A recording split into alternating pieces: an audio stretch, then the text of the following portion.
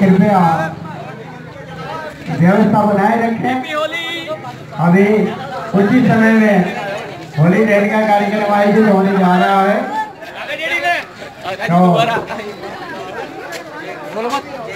सभी लोग इसमें सहयोग करेंगे, ऐसे मैं अपेक्षा रखता हूँ और हमारे भुटकर साहब एक विशेष बात बताने जा रहे हैं आप लोगों को।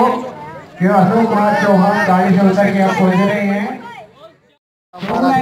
जो हमारे महाराजा जय देवी सिंह जी महाराज उनकी पौत्री है रुक्मणी जी पुत्र वधु रुक्मणी जी आज हमारे बीच यहाँ खड़ी है। हमारे साथ है। हमारे लिए बहुत है अब ये नोट निकाल लेना। कुछ ही समय में होली दहन का कार्यक्रम संपन्न होने जा रहा है है और सभी लोगों से निवेदन है कृपया प्रसाद वितरण होगा तो प्रसाद लेकर ही प्रस्थान करेंगे। पीछे हट जाओ। थोड़ा पीछे जाओ पीछे जाओ, पीछे हो हो बनाए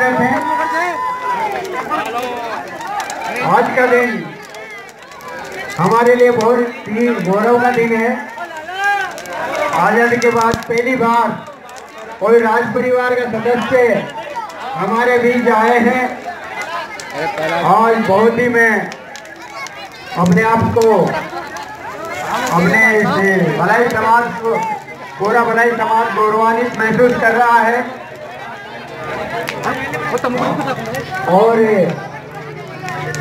रुक्मणी जी से भलाई समाज की तरफ़ से एक निवेदन है कि जब भी हम आपको याद करें कृपया आकर हमारी हौसला अफजाई करें हमें आशीर्वाद दें और हम लोगों को नई राह दिखाएँ। ऐसी मैं भलाई समाज की तरफ़ से अपेक्षा रखता हूँ।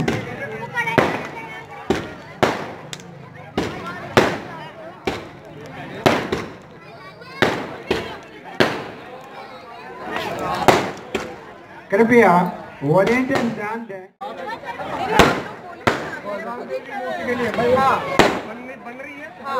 तैयार होंगे।